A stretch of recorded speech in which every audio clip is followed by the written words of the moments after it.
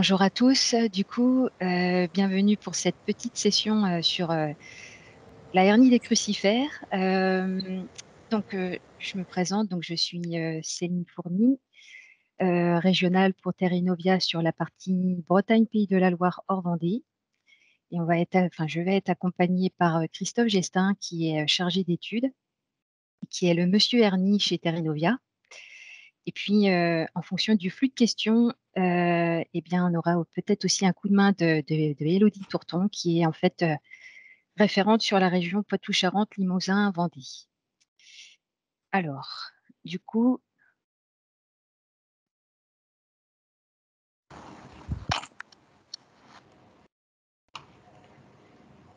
ah.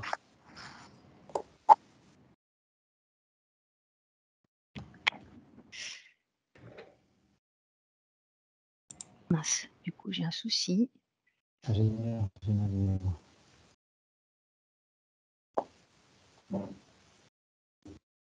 Voilà. Donc, normalement, euh, tout le monde a accès à la présentation. Alors, petit détail pratique déjà, en fait, on va vous demander de bien fermer vos, vos caméras et vos micros pendant les présentations. Euh, en sachant qu'un temps d'échange est prévu à la fin des présentations, donc pour ceux qui souhaiteraient euh, prendre la parole. Euh, sera possible en fait de poser aussi vos questions dans l'espace de conversation Teams. Donc, on essaiera autant que possible de faire une réponse dans la présentation, mais si on était un petit peu pris par le temps, dans ces cas-là, on le fera à l'issue de, de, la réunion. sachez que le webinaire est enregistré, donc vous pourrez remettre vous, pourrez, vous pourrez retrouver en replay euh, cette, réunion et puis euh, les documents euh, vous seront transmis par la suite.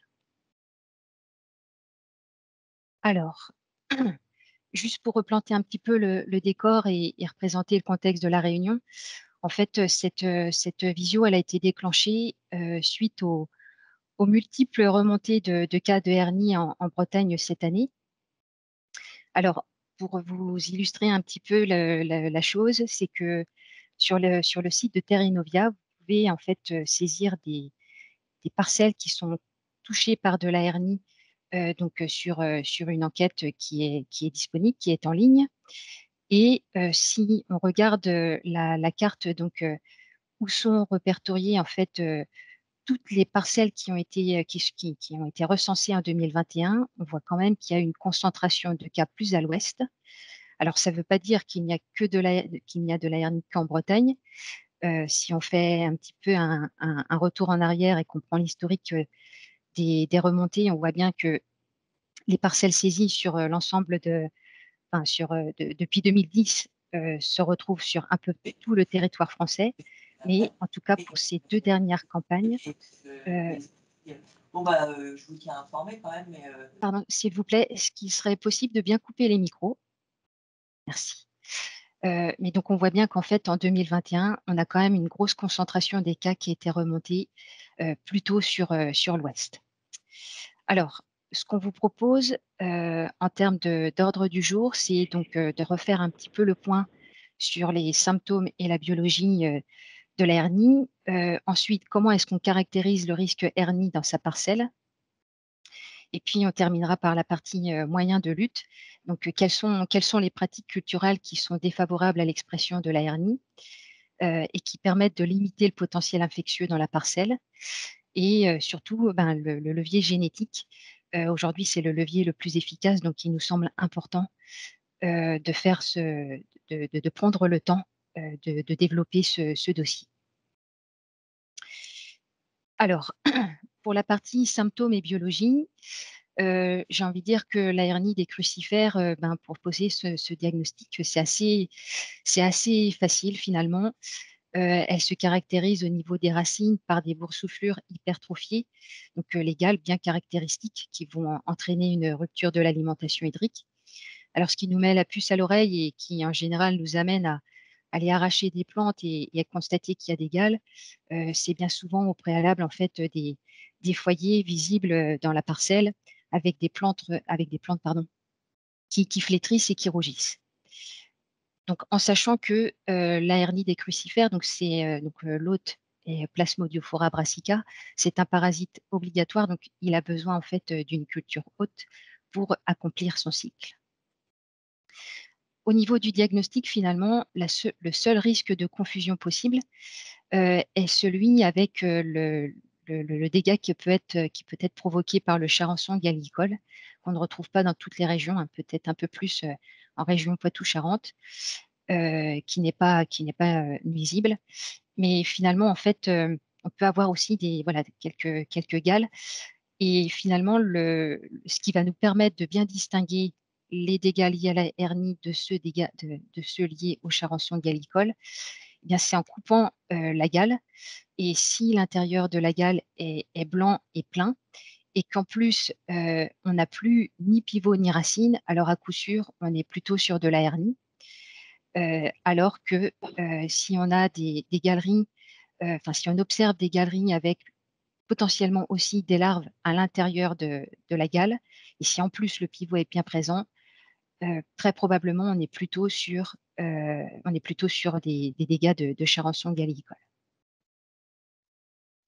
Alors, au niveau du cycle de développement, donc le, point de départ du cycle, ce sont des spores de repos donc, qui sont contenus dans le sol et qui, donc, à la faveur d'un milieu liquide, vont germer pour donner donc, ce qu'on appelle des zoospores primaires et qui vont aller se fixer euh, sur euh, donc des poils absorbants, y entrer, s'y multiplier, ce qui peut nous donner potentiellement de, nouvelles zoospores, donc des zoospores secondaires qui vont potentiellement recontaminer d'autres euh, racines et radicelles de plantes. Et puis, eh bien, les, les, spores de hernie vont venir infecter des cellules du cortex et ces cellules hypertrophiées vont se multiplier petit à petit pour donner euh, bah, au final le symptôme très caractéristique euh, de celui d'égal, euh, qui, en fait, en se décomposant, vont ben, en fait, faire retourner au sol des quantités assez importantes de spores de repos. en sachant que malheureusement, la, durée moyenne de conservation des spores dans le sol, c'est 10-17 ans. alors, bien avoir en tête les conditions favorables euh, à, la contamination et au développement de la hernie. Euh, l'optimum de température, on est plutôt sur du 20-25 degrés, avec une teneur en eau du sol qui est d'environ 80% euh, de la capacité de rétention. Les sols hydromorphes, donc à tendance limoneuse, peu perméables, vont être plutôt bah, les plus exposés au, risque hernie. Et puis les sols acides, on y reviendra, sont aussi les plus à risque. Alors, pour vous illustrer en fait euh, bah, cette importance de, des conditions de développement de la hernie, euh, on, vous a remis en fait euh, bah, justement la situation bretonne, puisqu'en fait, lors de la campagne déjà 2021, on avait déjà eu des signalements assez significatifs sur, sur l'Ouest.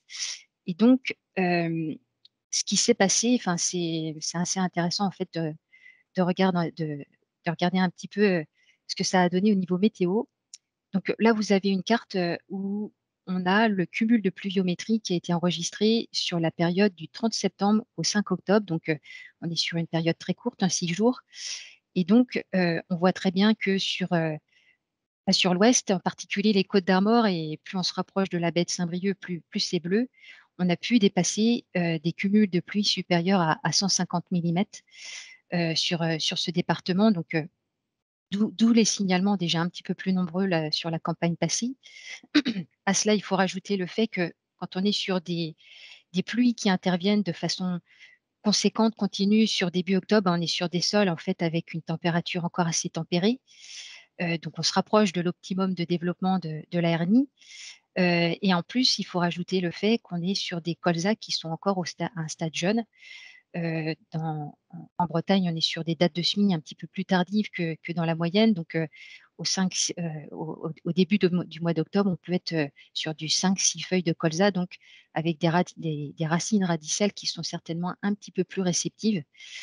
donc voilà, en fait, c'est la concomitance de, la pluie, de la température de sol et, du stade du colza qui, à un moment donné, peuvent être déclencheurs de, de sur cette campagne, euh, on a eu un, quasi, enfin, à quelques jours près, on a eu cet épisode de pluie aussi assez, soutenu sur une zone un tout petit peu, décalée vers l'est, mais où on a enregistré des cumuls de pluie régulièrement au-delà de, de, 100 mm. Donc voilà, il faut avoir en tout cas ces, éléments climatiques en tête. Et lorsqu'on a des, des, précipitations orageuses qui tombent d'un coup comme ça en tout début de saison sur des cols à peu développés, ça peut être un facteur de déclenchement de la, maladie. Et c'est ce que je disais tout à l'heure, c'est que les pH acides favorisent la hernie et on le voit bien en fait sur cette carte donc issue de, l'outil Géosol, donc où vous avez en fait la médiane des pH hauts qui a pu être mesurée en fait entre 2010 et 2014. On voit bien que plus on va vers l'ouest et plus la médiane des pH se rapproche de 6, et en sachant qu'on ne parle que de médiane, on ne parle pas des, niveaux les plus inférieurs. Donc, ça veut dire qu'on peut descendre nettement plus bas dans, la réalité. Alors, la chose importante du point de vue du pH, c'est que une maladie, elle est ralentie dans les pH, dans les sols à pH neutre ou alcalin. Mais surtout, ce qu'il faut vraiment retenir, c'est qu'une fois que la maladie est déclarée, le fait de relever le pH ne permet pas de l'éradiquer en fait, elle crée le, relèvement du pH ne fait que créer des conditions qui sont moins favorables à l'infection.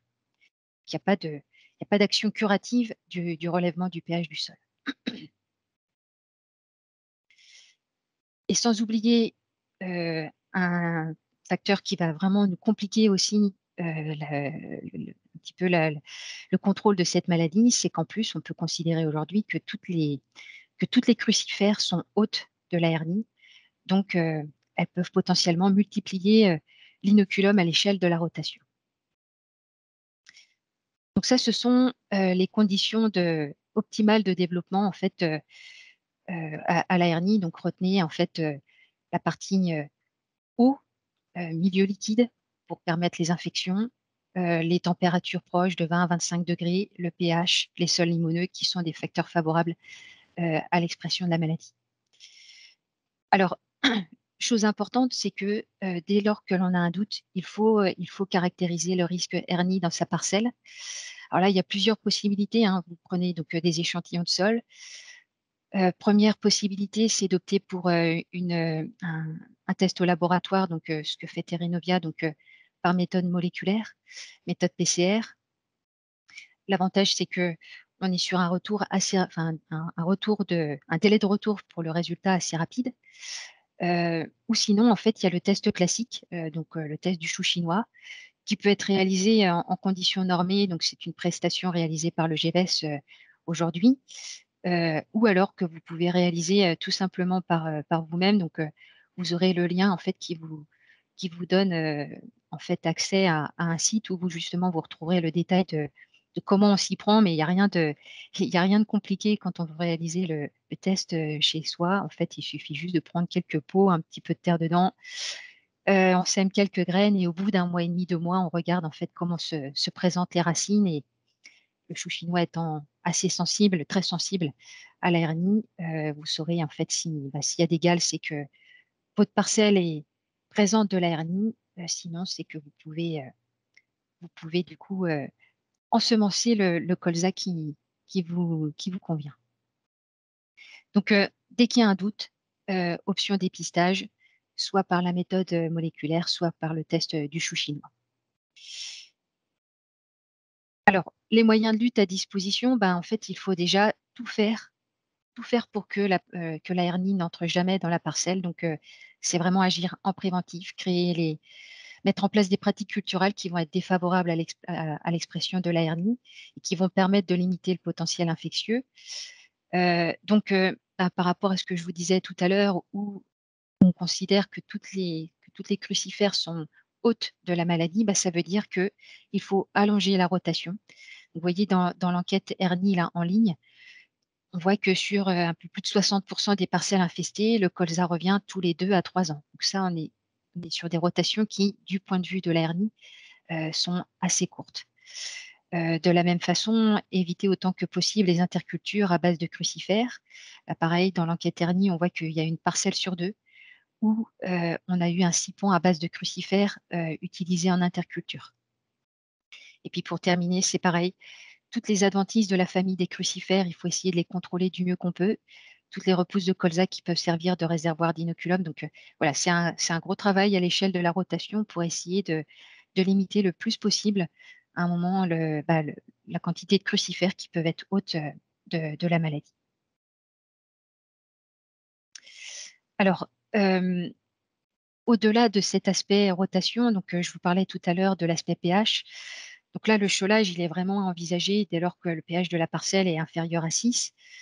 Vous avez ici en fait une, représentation donc, qui est issue d'un travail mené par un centre, R&D du Canada, où vous avez, donc là on est en situation au champ, une parcelle qui fait 23 mètres sur 85 mètres de long, et au sein de cette parcelle, en fait, il y a eu plusieurs points de prélèvement qui ont permis ben, d'établir une espèce de cartographie, enfin une cartographie, pardon, du, du, niveau de pH du sol. Donc plus, c'est jaune, plus le pH de sol est faible, et plus c'est violet, plus le pH du sol est, élevé.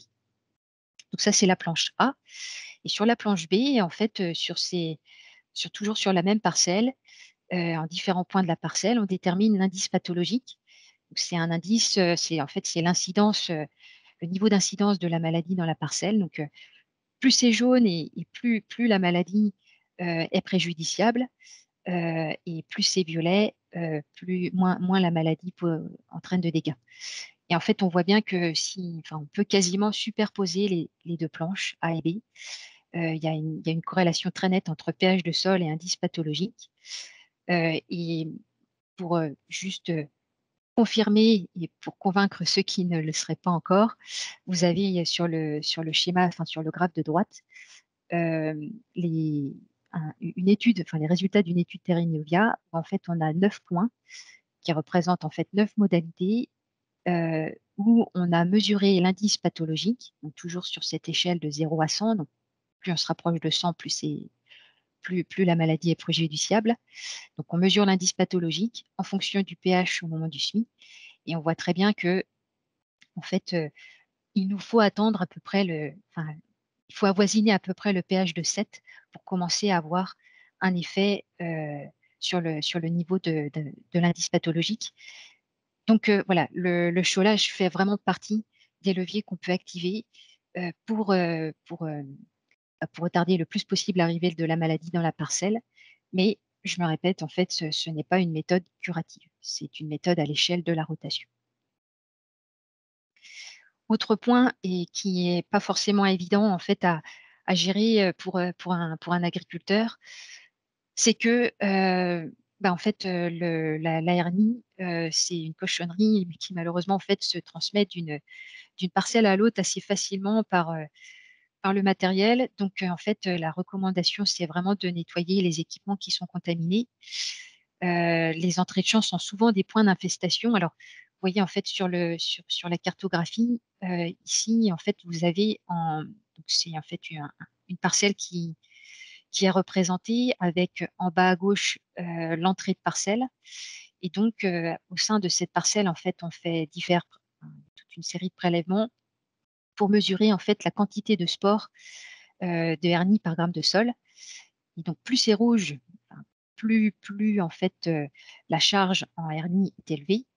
Et on voit bien que euh, ben, les, les zones où euh, la hernie est la plus, euh, plus développée, la les quantités de spores sont les plus importantes, sont plutôt au niveau des entrées de parcelles.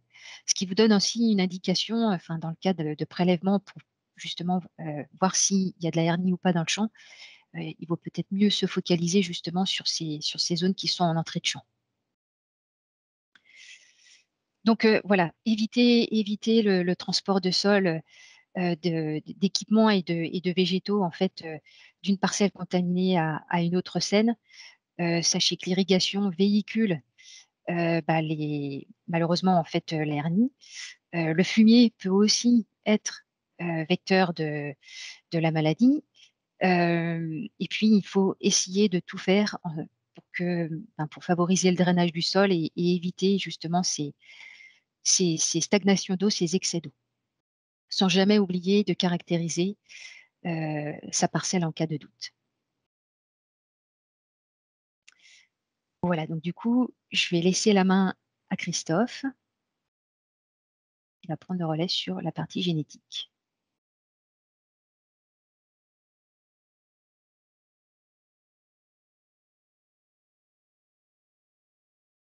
Hop là, bonjour à tous.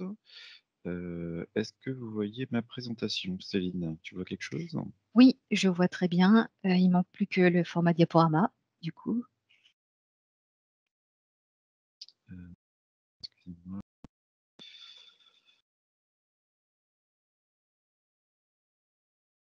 Normalement, c'est tout bon. C'est parfait. Moi, je suis Christophe Gestin, je suis chargé d'études en génétique et protection des cultures. Et là, pour cette euh, présentation en duo avec Céline, euh, je vais vous euh, présenter en fait euh, un des moyens de lutte euh, vis-à-vis de la hernie crucifère, qui est le levier génétique, qu'on considère comme un des leviers aujourd'hui le plus efficace hein, pour lutter contre ces agents pathogènes. Comme l'illustre bien ici cette photo, donc à gauche, vous avez une, une variété de colza qui est résistante à la qui s'appelle Mendel, et qui est une variété qui a longtemps été commercialisée et utilisée pour lutter contre ces maladies. Et puis à droite, vous avez euh, une autre variété qui est sensible vis-à-vis de cet agent pathogène. Et là, vous voyez, dans un contexte hernie, on voit clairement la différence et l'intérêt d'utiliser une variété justement à bon comportement. Donc, lorsqu'on s'intéresse au levier génétique, il faut savoir que ben, on va affaire à deux protagonistes. Le premier protagoniste, déjà, ça va avoir le colza. Donc, euh, chez le colza, on a deux types de résistance. On va avoir une résistance dite qualitative. Donc, ça va intervenir un ou plusieurs gè- gènes euh, euh, à effet majeur. Donc, on va avoir plutôt une réponse de type binaire lorsqu'on confronte le colza avec la hernie. Soit je suis résistant, soit je suis sensible. Et puis, on va avoir les résistances quantitatives qui font intervenir de, nombreux gènes avec des effets, mineurs. Et donc, le cumul de ces gènes fait qu'on va avoir une gravité des symptômes qui va être plus ou moins euh, important. Et ce type de résistance, généralement, on le considère comme plus durable dans le temps, puisque l'agent pathogène va avoir plus de mal à contourner un plus grand nombre de gènes. De l'autre côté, on va voir Plasmodiphora brassicae, que vous a présenté tout à l'heure Céline, et qui est l'agent responsable de la hernie. Et chez cet agent pathogène, on a plusieurs pathotypes qui vont être à l'origine de plusieurs niveaux de virulence. Donc, c'est quoi un pathotype? Donc, si on extrapole par rapport aujourd'hui à l'actualité, donc vous connaissez tous, la Covid, vous avez entendu parler de Omicron, vous avez entendu parler de, de- de Delta, euh, c'est ce qu'on appelle des, variants. Et ben là, c'est pareil, hein, pour les hernies, euh, on ne parle pas de variants, mais là, on parle de pathotypes, mais c'est exactement pareil. Et donc, ces différents pathotypes vont se comporter euh, différemment les uns par rapport aux autres. Et comment les caractérise, ces pathotypes de hernie? On va utiliser un set de, un set de différentiel de colza. Donc, un set de différentiel, il est composé de différentes variétés de colza, ici qui sont codées E ECD10, ECD10 et Brutor. Et euh, ces différents euh, génotypes de colza, en fait, ils ont une composition en gènes de résistance qui u- les unes par rapport aux autres. Et lorsqu'on va confronter une population de hernie avec justement ce set de différentiel, on va avoir une réponse qui va être plus ou moins différente. Et là, si on prend par exemple le pathotype P1, on voit qu'il est capable d'attaquer avec ici nommé plus pour présence de Galles, on voit qu'il est capable d'attaquer effectivement euh, les trois euh, génotypes de colza, alors que si on prend P3, euh, il est capable d'attaquer uniquement que la variété Brutor. Et donc, avec ce set de différentiel qui a été défini par Sommet en 96, on va pouvoir définir justement huit pathotypes de hernie. Alors ensuite, on s'est dit entre 2010 et 2013, dans un projet CASDAR, on, va y revenir d'ailleurs un, un peu plus tard euh, tout à l'heure, on s'est dit qu'il pouvait être intéressant de compléter ce set de différentiel avec la variété Mendel, puisque c'était une variété qui avait été longtemps utilisée, et on avait une suspicion en 2010 justement qu'il y avait des contournements de résistance. Donc on l'a intégré dans ce set de différentiel aujourd'hui pour pouvoir justement distinguer les pathotypes qui contournent la résistance Mendel de ceux qui ne contournent pas la source de résistance Mendel, ce qui fait que chacun des pathotypes en question, on peut les subdiviser en deux. Un pathotype 1, par exemple, qui va contourner Mendel et un pathotype 1 qui ne contourne pas Mendel. Donc, ce qui fait être quatre génotypes ici de colza, on est capable de pouvoir distinguer euh, 2 fois 8, à savoir donc 16 pathotypes euh, de, de hernie. Donc, vous voyez ici que finalement, le nombre de pathotypes, va aussi beaucoup dépendre en fait euh, du, euh, nombre de génotypes qui va composer le différentiel. Donc, au final, euh, lorsqu'on va confronter le colza avec la, la, hernie, on voit que le colza, en fonction des gènes en présence, il va être soit sensible, soit il va être partiellement résistant, soit il va, être, soit il va présenter une résistance quasi totale, et ce, grâce à des gènes qui vont soit avoir des effets qui sont majeurs, voire mineurs, et avec des gènes qui vont présenter donc soit une spécificité ou non vis-à-vis -vis des pathotypes. Alors, on voit ici que lorsqu'on va s'intéresser justement à, la résistance du colza vis-à-vis de la hernie, puisque justement les colzas vont répondre différemment en fonction des pathotypes en présence, bah déjà il faut savoir, pour faire une préconisation variétale, qu'est-ce que l'on a déjà sur le territoire français en termes de pathotypes. Et lors d'un projet CASDAR de 2010 à, 2000, à 2013, dans un projet collaboratif, on a caractérisé donc avec l'ensemble des partenaires les différents pathotypes sur une 70 échantillons répartis dans différentes régions françaises. On a regardé justement quels étaient les pathotypes en présence. Donc sur cette carte, vous pouvez voir par les différents chiffres en question les fameux pathotypes que je vous ai présentés tout à l'heure. Et sur lorsque vous avez une petite étoile, c'est parce que le pathotype est capable de contourner la résistance de Mendel. Alors, si on regarde maintenant région par région, donc on a essayé de regrouper justement les différents échantillons. là, la, chose que l'on peut voir par un simple jeu de couleurs, c'est que globalement, on a quand même pas mal de pathotypes et on n'a pas forcément un pathotype qui va se distinguer des autres dans une région par rapport à l'autre. On voit quand même aussi que ce sont les pathotypes 1 et 2 qui ressortent assez de manière majoritaire. De cette étude, on en a conclu qu'en France, on avait six pathotypes qui avaient pu être identifiés, de P1 à P6, avec en majorité P1 et P2, puis en moindre mesure P3, qui représentaient quand même plus de 90% des, échantillons qui avaient pu être caractérisés. Et puis, on avait trois pathotypes, P1, P2 et P3, qui étaient susceptibles d'attaquer Mendel, représentés ici dans, dans cette figure par des petites étoiles. Ce qu'on a montré également, c'est qu'on avait une variabilité intraparcellaire donc ça veut dire que dans une même parcelle, on peut avoir plusieurs pathotypes. Ça avait déjà été longtemps montré, on l'a revu encore dans cette étude-là. Donc, ça veut dire que ça va compliquer les choses en termes de préconisation variétale. On a également une variabilité interparcellaire. Ça veut dire que sur une parcelle donnée, et si je vais à quelques kilomètres, je peux très bien avoir des pathotypes qui soient différents. Donc, les résultats de cette étude, quand même, restaient à nuancer parce que déjà, certains échantillonnages ont été parfois privilégiés. Euh, par exemple, euh, lors de ce projet-là, on s'est aussi intéressé en particulier aux parcelles pour lesquelles on avait une suspicion de contournement de la résistance Mendel. Euh, donc, c'est possible qu'on a peut-être surreprésenté justement les cas de, parcelles avec des risques de, de, contournement. Et puis, certaines régions étaient également sous-représentées et là, on peut le voir, hein, notamment à travers, on, peut le supposer notamment à travers, par exemple, l'étude du GICAI, ici, que vous pouvez voir à gauche, qui ont réalisé également une cartographie de pathotypes au niveau Europe. Et là, lorsque vous regardez au niveau de la Bretagne, vous voyez que, par exemple, ici, ils ont identifié du P4, alors que nous, de notre étude, avec le même set de différentiel, on n'a pas identifié de P4. Donc, de cette étude, quelles conséquences au niveau variétal on peut en tirer? Bah Déjà, le fait qu'il y a plus d'hétérogénéité entre parcelles qu'entre secteurs géographiques, c'est-à-dire que la préconisation variétale, il faudra la faire et faudra la raisonner à l'échelle de la parcelle et pas au niveau de la région. Alors, qu'en est-il maintenant? On a vu côté, on a vu hernie. Maintenant, qu'en est-il côté colza? Donc, euh, il faut savoir que les sources de résistance chez le colza sont assez complexes. Euh, donc, on peut avoir certes des gènes majeurs, mais on peut avoir aussi beaucoup de gènes à effet mineur qui sont compliqués à utiliser en sélection et euh, en plus des sources de résistance qui ne sont pas forcément adaptées aux pathotypes que l'on a sur le territoire français. Donc, une des chances euh, que l'on a, c'est qu'il existe également d'autres sources de résistance chez la navette et chez le chou qui sont les progéniteurs du colza et qui peuvent être utilisés pour améliorer la résistance du colza par rapport à la hernie. Et c'est le cas, par exemple, de la variété de colza Mendel. Alors ici, le schéma de sélection peut être un peu barbare pour certains. L'idée, c'était juste pour, vous illustrer que, en fait, la sélection de Mendel, elle a commencé en utilisant du chou et une navette. Et il a fallu quand même un long, un, beaucoup de travail de la part des sélectionneurs pour arriver ensuite à la commercialisation de cette variété en 2001. Donc, il a fallu près de 13 ans pour créer cette variété et qu'elle soit disponible sur, sur le marché ce qu'on peut également, hop là, ce qu'on peut également dire, c'est que tout à l'heure, effectivement, je vous ai dit que la variété Mendel, elle était contournée. Elle avait été confirmée entre 2010 et 2012 dans un précédent projet. Et, là, ça nous pose souci effectivement sur, sur le territoire français.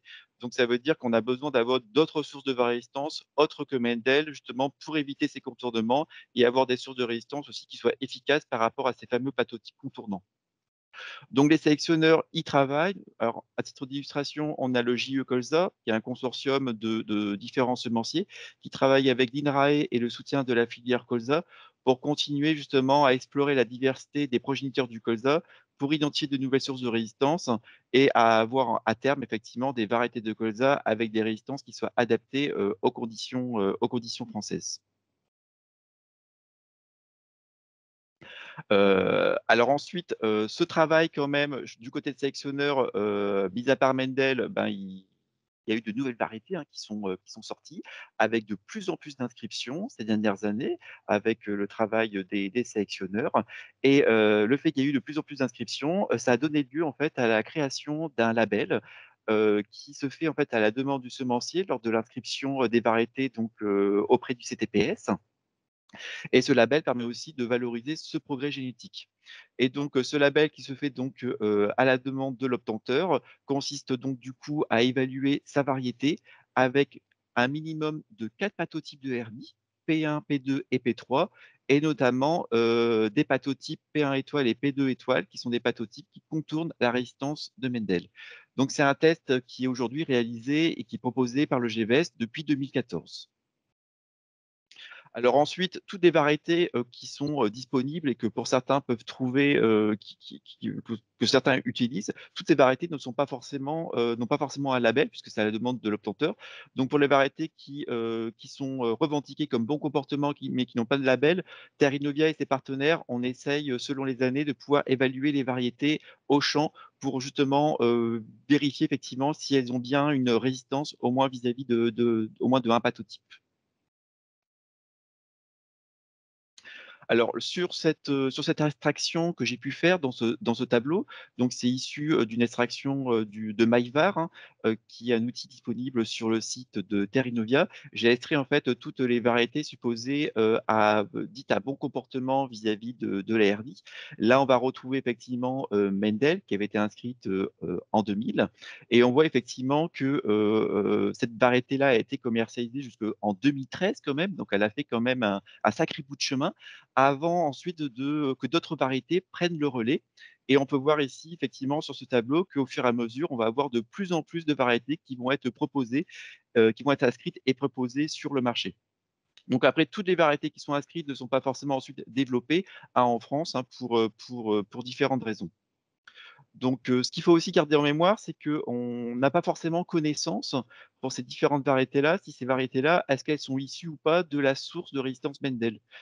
Puisque si ces variétés-là sont bien issues de la source de résistance Mendel, nous, de notre côté, on va pas pouvoir faire va pas pouvoir ensuite faire de nouvelles il ne va pas y avoir d'évolution en termes de préconisation variétale, puisque si ces variétés-là ont les mêmes générations que Mendel, là où on va avoir des problèmes de contournement, on va avoir encore les mêmes problèmes de contournement. une des questions également qu'on nous pose, c'est est-ce que les variétés résistantes aujourd'hui font-elles moins de rendement que les variétés sensibles? Donc, si on prend par exemple Mendel, alors oui, Mendel, par exemple, avait un potentiel de rendement qui était, nettement, moins, était nettement moins important que les variétés sensibles de son époque. Donc, si bien qu'effectivement, les agriculteurs avaient tendance à faire un mélange entre des résistants et des sensibles pour compenser cette perte de, rendement. Et puis, on, croisait les doigts hein, qu'il n'y avait pas de, de hernie. Aujourd'hui, si on regarde ce tableau-là, donc j'ai pris un, exemple entre 2020 et 2021 sur des essais VCM, donc c'est en situation sans hernie. Par contre, on peut voir ici les indices de rendement de variétés résistantes vis-à-vis de la hernie. Et on voit que finalement, les indices de rendement, pour un certain nombre d'entre elles, elles sont équivalentes. Et puis, il y a aussi d'autres variétés qui possèdent des indices de rendement bien meilleurs. Et qui sont bien équivalentes effectivement à ce qu'on retrouve aux variétés dites sensibles. Donc finalement, l'intérêt aujourd'hui de faire un mélange entre des variétés résistantes et sensibles pour compenser des pertes de, rendement, bah, aujourd'hui l'intérêt est nettement plus nuancé. Il n'y a pas forcément nécessaire de, faire ce mélange pour compenser les, pertes de rendement.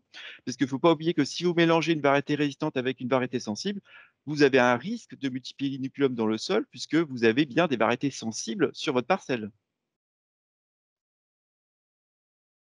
Alors, si on regarde maintenant d'un plus, près, effectivement, les essais menés au champ, notamment des essais au champ qui sont là notamment pour confirmer les propos des obtenteurs et de ce qu'on peut voir aussi par des tests en, conditions contrôlées que je vous ai présenté tout à l'heure, bah, Terre et ses partenaires évaluent selon les années effectivement un panel de variétés commercialisées au champ avec parfois des pathotypes qui sont connus, parfois des pathotypes qui ne sont pas connus. Donc là, sur cet essai-là, on peut voir qu'à gauche, vous avez un témoin sensible, à droite, vous avez un panel de variétés supposées euh, résistantes à la hernie. Là, par, une simple vue d'œil, on voit clairement l'intérêt, euh, on voit clairement effectivement la présence de hernie avec des pertes de pieds. Euh, donc là, c'était un essai qui était mené en partenariat avec la Chambre d'agriculture de la Vienne. Si on fait maintenant, on arrache les pieds de, on arrache les pieds de, Colda, en fait, on va regarder la gravité des symptômes sur le système racinaire. Et ce que vous disiez tout à l'heure, Céline, c'est qu'on calcule un indice maladie qui va de 0 à 100. Et si cet indice est inférieur à 25, on va considérer que la variété est résistante. Et s'il est supérieur à 25, on va considérer que la variété est sensible. Dans le cas présent, des cas externes qui étaient témoins sensibles avaient un indice de 45. Et par contre, de panels commercialisés résistants avaient un indice maladie inférieur à 25, ils étaient bien résistants.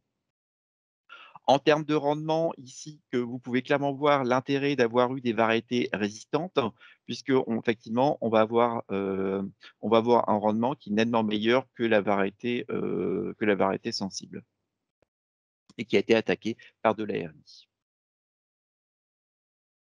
La paille de hernie, ça se fait sur le rendement, mais ça se fait également sur la teneur en huile et en protéines. Si on regarde maintenant des résultats d'essais qui ont été, euh, qui sont un peu plus proches d'aujourd'hui, entre 2019 et 2020, donc la lecture de, cet histogramme se fait de cette manière suivante. Donc en bas, vous avez en fait euh, le set de différentiel que l'on a implanté au champ et qui nous permet de caractériser les pathotypes en présence. Et puis à droite, vous avez un ensemble de euh, variétés dites qui ont été commercialisées ou qui ont été commercialisées en France ou dans d'autres pays. Et puis en ordonnée, vous avez l'indice pathologique. Donc à zéro, vous êtes résistant, tout en haut, vous êtes sensible. Et pour chacun des, variétés, on a introduit effectivement trois blocs, donc trois répétitions au sein du dispositif, donc 1, 2 et 3. Le seuil de sensibilité est fixé ici à 25. Donc, ce que l'on peut voir tout d'abord dans le set de différentiel, c'est qu'on voit que finalement, tous les génotypes sont sensibles, hormis Mendel. Donc, on a affaire au pathotype P1. Ensuite, lorsqu'on regarde le panel commercialisé, on peut voir que tous les génotypes sont résistants, hormis nos deux témoins sensibles, Storm et Pamela. Donc, c'est ce qu'on supposait attendre. Donc là, ici, on voit que toutes les variétés supposées résistantes sont bien résistantes. Dans un autre essai en 2020 et 2021, donc euh, ce sont des essais hein, qui ont été menés dans le projet euh, CASDAR Optiplasme, dont je dirai quelques mots tout à l'heure. Dans l'interprétation ici de ce graphique, on va voir la même chose que tout à l'heure. Vous avez le set de différentiel qui nous permet de dire qu'on a affaire au pathotype P5. Et puis, lorsqu'on regarde le panel de variétés ici commercialisées, on peut voir que toutes les variétés sont résistantes. Et Pamela sont bien sensibles comme attendu. Par contre, euh, si toutes les variétés ici sont bien résistantes, on a une variété qui ressort du lot, c'est Decaplini, qui elle est sensible vis-à-vis de P5. Donc, à supposer que si on n'avait pas, euh, si on avait eu que des capillis, par exemple, sur cette parcelle-là, euh, on aurait pu supposer effectivement qu'on avait peut-être un pathotype qui était capable peut-être de, si en supposant qu'elle avait la même source de, Mendel, on aurait pu se dire, bah voilà, cette variété, à ce pathotype contourne la source de résistance de Mendel. Donc l'intérêt de mettre le set de différentiel au champ, c'est qu'on voit que ce n'est pas un pathotype qui contourne du tout la résistance de Mendel, c'est juste qu'on a un pathotype différent qui s'appelle P5. En 2021 et 2022, donc c'est cette année là en, ce moment. Euh, donc on, avait également dans le département du 18 donc euh, à notre essai et là on avait un autre pathotype sur cette parcelle qui est pathotype P2 Donc là, on avait une attaque qui était bien sévère. Et là, on peut voir que tous les génotypes sont supposés résistants, le sont bien également, hormis les deux témoins sensibles, là encore, DKX et puis Pamela. Donc, une petite photo pour illustrer l'essai de 2021 et 2022. Ah, là, vous avez le chou chinois. Donc là, il n'y a pas photo. Hein. On avait fait des notations début novembre. Et vous voyez effectivement la grosseur de Galles. Donc elles sont, pour une expérimentation, elles sont magnifiques. Et puis côté colza également, là, vous avez effectivement des photos de Galles sur le système racinaire du, colza, donc qui, pour certains génotypes du pseudo différentiel, qui était très bien attaqué. Donc, une des choses aussi également qui vont nous intéresser, c'est de savoir finalement, est-ce que ou pas j'ai des sources de résistance qui sont diversifiées? On a parlé tout à l'heure qu'on avait des sources de résistance Mendel qui, qui en fait pouvaient être utilisées pour, pour les variétés d'aujourd'hui. mais si j'ai les mêmes sources de résistance qu'aujourd'hui, finalement, bah, ça ne va pas être intéressant pour l'agriculteur qui, a qui a eu des patotypes contournant la résistance de Mendel il y a, il y a 10 ans. Donc moi, j'ai essayé de centraliser l'information d'un ensemble de variétés et, et puis, j'ai regardé effectivement si ces variétés étaient résistantes ou sensibles par rapport aux, différents pathotypes. Donc déjà, on va retrouver les pathotypes qui sont utilisés par le GVS. Donc c'est là qu'on va avoir un maximum d'informations. Et puis auquel j'ai complété des informations, notamment avec des pathotypes qui, pour des variétés qui ont été évaluées au champ et pour lesquelles on a fait une caractérisation des pathotypes. Et donc là, par un simple jeu de couleurs, hein, quand je suis résistant, je suis vert et quand je suis rouge, je suis sensible, on voit clairement qu'on a très peu de différence entre variétés. Donc, on pourrait être on aurait tendance à dire, bah, finalement, je dois avoir les mêmes sources de résistance entre ma variété Mendel et puis ma variété d'aujourd'hui. Bah, aujourd'hui, nous, en tout cas, on n'est pas capable de dire ça. Pourquoi? Bah, Parce qu'il faut savoir que des gènes de résistance différents peuvent très bien aboutir au même résultat voilà, donc et puis l'autre chose également, c'est que si on avait effectivement caractérisé ces variétés-là par rapport aux autres pathotypes, on pourrait très bien avoir un profil très différent et là conclure plus facilement qu'on a ou pas effectivement des gènes de résistance qui sont très différents d'une variété à une autre. Donc la conséquence en termes de préconisation variétale, puisqu'on ne connaît pas effectivement le comportement de ces génotypes vis-à-vis de, tous les pathotypes en question, c'est de déjà, à minima, lorsque vous avez de la hernie sur votre parcelle, c'est d'utiliser une variété à bon comportement. Et pour effectivement les agriculteurs, ceux qui ont déjà eu affaire à des pathotypes contournant la source de résistance de Mendel, et notamment ceux qui ont eu du P1 étoile dans leur, dans, leur parcelle, ben, il faut bien garder en mémoire qu'aujourd'hui, on peut le voir ici sur, sur ce tableau-là, qu'on n'a aucune variété qui est suffisamment résistante hein, pour, pour, pour contrôler cette maladie-là. Donc moi, pour ma part, j'ai fini. Puis je vais juste terminer avant de laisser la main à Céline pour la conclusion, pour vous dire qu'il y a des projets, il y a un projet actuellement qui, est en cours. Donc tout à l'heure, on vous a parlé effectivement d'un test officiel utilisé par le CTPS pour labelliser les variétés de colza vis-à-vis de hernie. Ce test-là, on essaye de l'optimiser. donc c'est un projet qui est financé par le CASDAR et coordonné par le GVS avec Terrinevia et l'INRAE comme partenaires. Et dans ce projet-là, on essaye, notamment dans les pathotypes qui sont utilisés, d'avoir des pathotypes qui soient génétiquement homogènes et stables dans le temps. Parce que des fois, on peut avoir des, on avoir des mélanges qui fait qu'on est obligé de, répéter dans le temps les expérimentations pour être sûr du résultat. Donc là, on essaie de développer des pathotypes qui sont bien homogènes et stables. Et puis, à travers ce projet-là, on essaye d'évaluer aussi la représentativité du test en conditions contrôlées par rapport au terrain. Autrement dit, est-ce que le test en conditions contrôlées, il a un sens par rapport à ce que j'observe chez un agriculteur? Et puis enfin, on essaye aussi d'investir la capacité du test en conditions contrôlées à valoriser la résistance partielle. On a vu tout à l'heure que la résistance, était très binaire. soit je suis résistant, soit je suis sensible. Et on essaye de voir si avec le test en conditions contrôlées, il n'y aurait pas moyen effectivement d'essayer de, valoriser peut-être des, des, génotypes à résistance intermédiaire qui pourraient être intéressants dans des situations faiblement infestées. Ça, c'est un projet en cours et qui se termine en 2022. Et je laisse la main à Céline pour conclure. Oui, donc euh, ben, effectivement, pour conclure, euh, vous avez dû bien retenir en fait déjà toute, euh, la clé réside dans, la prévention. donc ce sont les bonnes pratiques agronomiques qu'il faut essayer de, sur lesquelles il faut essayer de capitaliser. Donc l'allongement des rotations, euh, le travail des intercultures, euh, la gestion aussi donc euh, des adventices repousses, le cholage, favoriser le drainage du sol. dès lors qu'on a un doute, il faut essayer, tant qu'on le peut, bah, de procéder à une analyse pour bien évaluer le niveau de risque de la parcelle. Donc là, c'est en fait vraiment pour les, exploitations qui aujourd'hui ont, ont des dégâts identifiés sur une de leurs parcelles, ben, si elles prévoient ces mêmes exploitations de mettre en place des colzas en 2000 à l'automne 2000, enfin pour les semis 2022, ça veut dire que dans ces situations-là, il faut vraiment envisager de faire un, une, une, analyse pour déterminer quel est le niveau de risque sur, les, sur, ces, sur, ces futures, euh, sur ces futures parcelles qui sont destinées à recevoir du colza.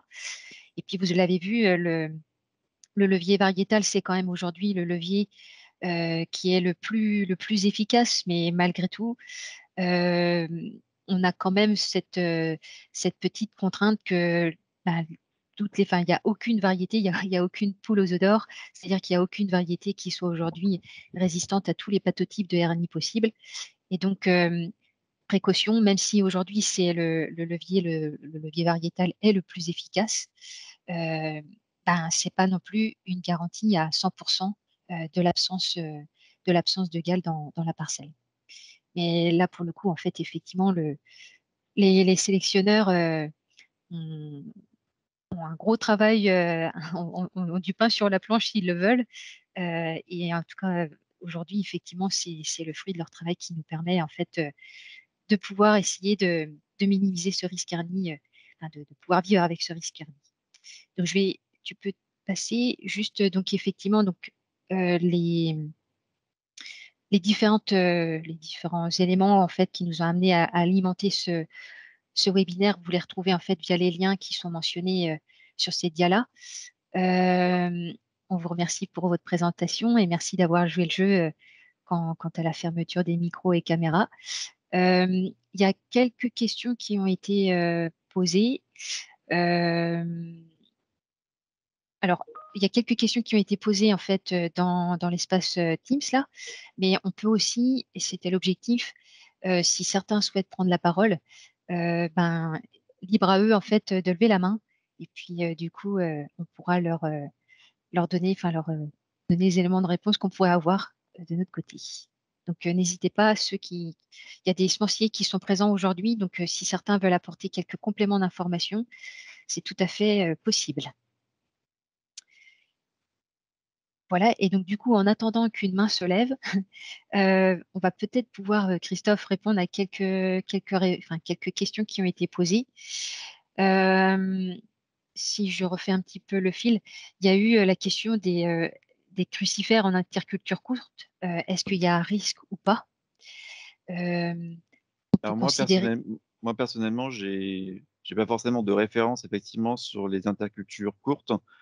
Par contre, effectivement, euh, si euh, euh, je regardais effectivement tout à l'heure un petit peu le, fil de discussion pendant ta présentation, effectivement, Céline, j'ai pas forcément eu le temps de, répondre, mais la question s'est posée effectivement entre juillet et octobre, où est-ce que j'ai des risques d'avoir de, la hernie?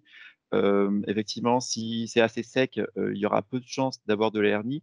Par contre, effectivement, s'il y a des orages réguliers, il y a un apport d'eau, il y a de la chaleur, apport d'eau plus chaleur égale tout bénéf pour la hernie. Et même si la hernie, finalement ne fait pas tout son cycle et, finalement n'aboutit pas à un ensemble d'égal sur le système racinaire de la culture haute, le test par exemple du chou chinois hein, qui dure 5-6 semaines, ça suffit amplement effectivement à développer de la hernie sur le système racinaire et à entretenir l'inoculum dans le sol. Donc potentiellement oui, il y a un risque. Ouais, et donc par rapport à la question, toujours sur la question des intercultures sur radis, euh, radis.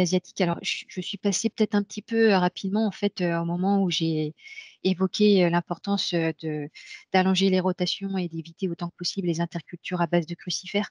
En fait, il y a, y a un outil disponible sur le site d'Arvalis, là, les couverts végétaux, et qui peuvent vous renseigner assez rapidement sur ben, est-ce qu'il y a un risque ou pas vis-à-vis de la hernie. Après, peut-être que le semencier peut aussi, le, le, fournisseur de, de, de, l'interculture en question peut aussi apporter quelques éléments, mais en tout cas, a priori, comme ça, il y a quand même un, risque. Euh, il, y avait une, il y avait une question sur est-ce que de nouveaux pathotypes sont identifiés euh, On peut considérer qu'à aujourd'hui, on a six pathotypes identifiés en France, huit, euh, à l'échelle mondiale. et on n'a pas forcément de. Enfin voilà, c'est la situation à aujourd'hui. question aussi sur où en sont les, travaux de recherche concernant les nouvelles sources de résistance. Bah là, ça faisait un petit peu l'objet de ta, de ta conclusion, toi, Christophe. Oui, exactement. C'est-à-dire que sur les sources de résistance, bah, aujourd'hui, il y a un travail de la part des sélectionneurs. là, je, vous ai donné comme illustration effectivement un travail qui est mené du côté du JUE Colza, donc un consortium de plusieurs, de plusieurs semenciers travaille avec l'INRA Dureux, le soutien de la filière. Et donc euh, là-dessus, bah, c'est un travail de, de longue haleine, hein, comme vous voyez pour la résistance Mendel qui a mis 13 ans à, venir. Euh, bah, du coup, effectivement, bah, il faut, être patient. Vous voyez quand même qu'il y, a quand même de nombreuses inscriptions, quand même, enfin régulièrement des inscriptions euh, de variétés euh, avec des qui sont revendiquées à bon comportement de la hernie. Après, c'est vrai que nous, de notre côté, côté Terre nous, on n'a pas forcément connaissance de savoir si c'est sources de résistance qui sont, qui sont différentes. Donc là, l'exemple que j'ai donné, c'est effectivement un exemple de, travaux menés par les, par les sélectionneurs qui essayent effectivement d'identifier des sources de résistance qui sont euh, adaptées au, pathotype de hernie. Après, là-dessus, si certains semenciers souhaitent apporter des, compléments, il ne faut pas qu'ils hésitent à, à, s'exprimer là-dessus. Ouais.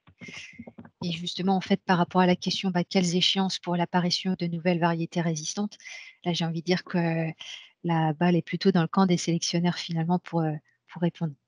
Exactement. Euh, il y a une question aussi sur comment est-ce qu'on calcule l'indice pathologique? Alors bien sûr, l'indice pathologique, en fait, en fait, on va arracher en fait un certain nombre de plantes dans le sol, que ce soit d'ailleurs en champ ou en conditions contrôlées, ça va être la même méthodologie. Et donc, on va avoir une échelle qui va aller de 0 à 4. Donc 0, effectivement, j'ai pas de maladie. Et puis à 4, on va avoir des, on va avoir des grosses gales. Et entre les deux, on va avoir effectivement des nuances. Et donc, on va classer les différentes plantes bah, dans, ces, différentes échelles et on va ensuite calculer un indice maladie qui prend en compte le nombre de plantes dans ces différentes classes qu'on associe avec un coefficient. Et donc, avec une petite formule, on arrive ensuite à un indice maladie qui va justement de 0 à 100.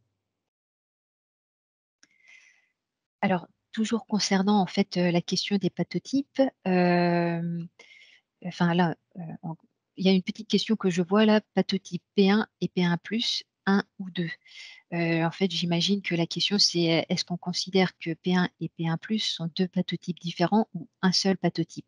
Oui, alors tout à fait. Alors là, le P1 effectivement, il y a eu en plus un changement de nomenclature après. Donc P1 égale P1 étoile au final. mais effectivement, il faut bien considérer P1 ou P1 comme deux pathotypes différents du coup. On les a, en fait, on, aurait pu les appeler très bien A, B, C, D, E, F, et puis au fur et à mesure, c'est une nomenclature qu'on a appelée pour dire effectivement c'était un pathotype 1 qui arrivait à contourner Mendel, mais du coup il faut le considérer comme deux pathotypes différents. ça, alors une question aussi sur les alors, variétés résistantes en système bio. Donc là, pour le coup, il faut que je, je pour ma part, je ne peux pas répondre comme ça. Euh, est-ce que toi, tu as des éléments, toi, Christophe? J'ai pas d'éléments plus que ça. Euh, il faut regarder effectivement, euh, peut-être sur le site effectivement de. En tout cas, si parmi les variétés que j'ai listées, s'il y en a certaines qui s'utilisent en, agriculture biologique, mmh. et ben dans ce cas, oui, effectivement, vous avez des variétés résistantes à l'hernie qui sont possibles. On pourra faire un retour si, besoin en fait sur cette, sur cette question-là. Alors, pour le, pour le coup d'un test PCR, alors là, le mieux, c'est clairement en fait de faire la, la demande. En fait, euh, donc si, si, on retourne en arrière, en fait, il y avait les coordonnées de, de notre collègue là, Julien Carpeza. En fait, c'est lui qu'il faut vraiment contacter pour toute demande de, de devis. Voilà. Vous avez son adresse mail, donc juliencarpeza.terinovia.fr. Donc, euh, pour ces analyses-là, c'est vraiment lui qu'il faut contacter. Euh, il semble qu'on a fait. Je regarde s'il y a d'autres questions qui sont arrivées. Alors, si, euh, donc, est-ce qu'il y a des travaux en cours et en réflexion sur la gestion de la hernie en lutte directe, donc que ce soit biocontrôle ou chimie? De mon côté, en tout cas, j'ai pas d'informations là-dessus. Après, il y a peut-être un travail du côté des, firmes là-dessus. Mais en tout cas, de mon côté, j'ai pas d'éléments. côté biocontrôle, souvent, il y a souvent des choses hein, qui sont testées par les laboratoires et après qui, marchent des fois en laboratoire, mais qui marchent moins bien du coup, malheureusement, comme souvent, lorsqu'on passe après par une phase au champ. Après, on reste, on reste vigilant sur, sur ce qui peut exister sur, en, termes de, sortie pour pouvoir le tester. Mais aujourd'hui, on n'a pas d'éléments particuliers qui, qui, nous amèneraient à tester quelque chose.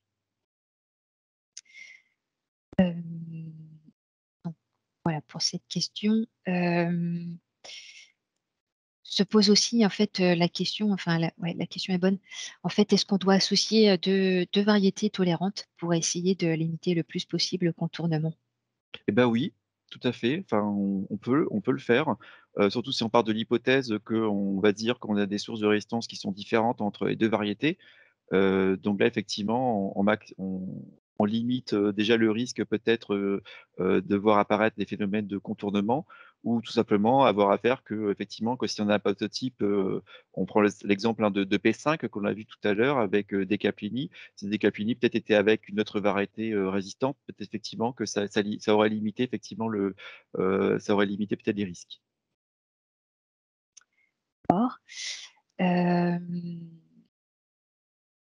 alors, il y a un certain nombre de questions. Donc, est-ce qu'on a euh, est-ce qu'on a déjà estimé le pourcentage de parcelles bretonnes avec présence du champignon? Euh, bah, En fait, euh, peut-être que tu peux répondre, Christophe, mais moi, je n'ai pas d'informations sur, précises sur le pourcentage exact de parcelles parce que déjà, l'enquête que nous avons, que nous avons, elle avait été utilisée en fait à la base pour choisir des parcelles pour ensuite driver le choix de la caractérisation des pathotypes. Et on avait surtout ciblé effectivement les régions pour lesquelles bah, il y avait une forte production de colza. Donc, ce qui explique que certaines régions, effectivement, qui sont surreprésentées par rapport à, d'autres. ce qu'il faut garder en mémoire, c'est que la, Bretagne, il y a du chou là-bas. le chou, c'est une crucifère. on a un sol acide qui là-bas. donc, il faut considérer que la Bretagne, quand même, c'est toute une région à risque hernie dans tous les cas. Donc, même si on n'a pas un pourcentage précis, effectivement, de, de, parcelles qui sont contaminées par la hernie, euh, potentiellement, il faut toujours se poser la question que euh, on a potentiellement de la hernie. Et si on a un doute, eh effectivement, euh, on peut faire un test, par exemple le chou chinois, pour vérifier ou pas que j'ai la hernie. Sinon, par défaut, ben, considérez que vous avez potentiellement la hernie. Il y avait une publication là en fait en culture légumière qui indiquait qu'effectivement dans les sols bretons, il y avait un, il parlait d'un chiffre de à peu près 80% de sols qui pourraient potentiellement contenir en fait de la hernie. Donc à y a-t-il des couverts qui permettent de diminuer le stock de sport de repos? Donc ça c'est le système des cultures faux hautes. donc c'est une thématique qui a pu être travaillée, enfin en tout cas ça a été retranscrit hein, dans la littérature des espèces comme du seigle, de l'avoine, du, du régras, poireau.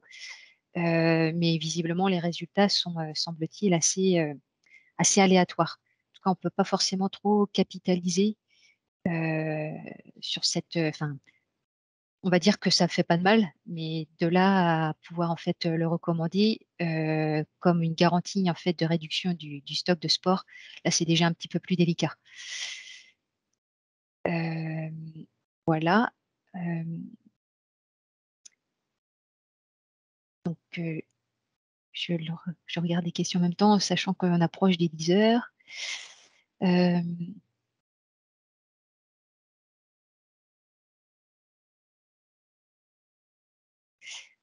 est-ce qu'il y a Elodie qui est aussi en arrière-plan? Est-ce que tu vois des... Alors, je vois que quand même, il y a eu un complément d'information qui a été porté sur la, question des semences bio, où du coup, notre collègue Arnaud euh, dans le sud nous indique qu'en fait, euh, oui, il est bien possible de recourir à des semences qui ne, soient pas, qui ne sont pas non traitées. Donc, euh, en fait, la dérogation est encore possible effectivement pour le colza.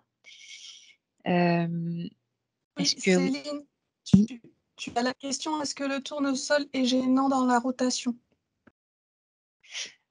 Non, oui.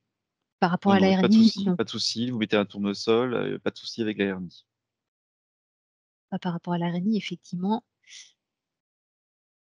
Et puis, il y a une autre question aussi. À quelle fréquence espacer les crucifères dans la rotation pour obtenir un résultat? En gros, pour limiter le risque, je pense. Oui.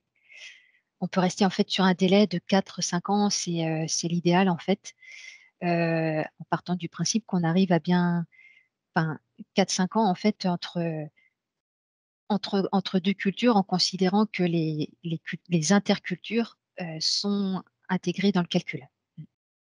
Mmh. Voilà.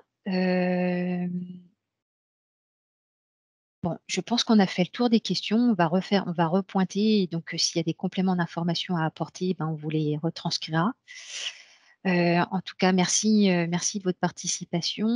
merci des questions qui ont été posées. J'espère qu'on a répondu le mieux qu'on pouvait, que ça vous a un petit peu éclairé. et puis, du coup, bah, si vous aviez besoin de compléments d'information, bah, n'hésitez pas en tout cas à nous solliciter, Christophe et moi, sur pour de, enfin voilà, en cas de, en cas de, de, questions. Voilà, en tout cas, merci à tous. On va vous souhaiter une bonne journée, bonne fin de semaine, et puis à bientôt.